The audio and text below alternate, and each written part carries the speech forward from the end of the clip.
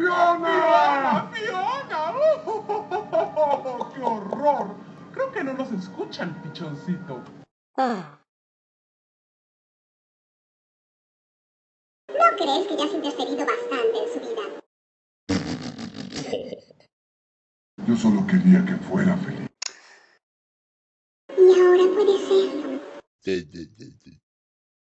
Mira, tesoro.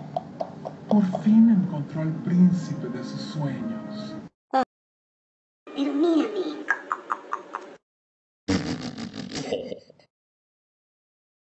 Mira lo que yo hice por ella.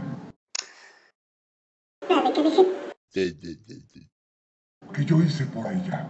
Es hora de que dejes de vivir en un cuento de hadas. Ella es una princesa y tú eres un ogro. Es algo que ninguna pócima podrá cambiar nunca.